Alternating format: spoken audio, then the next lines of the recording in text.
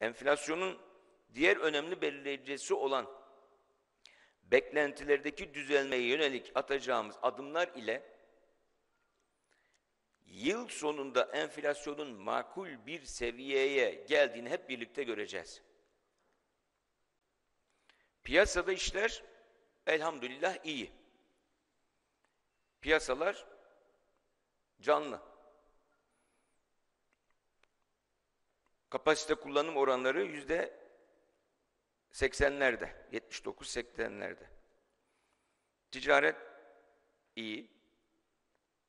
Bundan sonra yapmamız gereken şey davranış bozukluğunun giderilmesiyle fiyatlarındaki fiyatlardaki davranış bozukluğunun giderilmesiyle ve makroekonomik göstergelerdeki iyileşmelerle yatay bir geçişten sonra daha makul bir enflasyon sarmalından çıkacağımız döneme gireceğiz.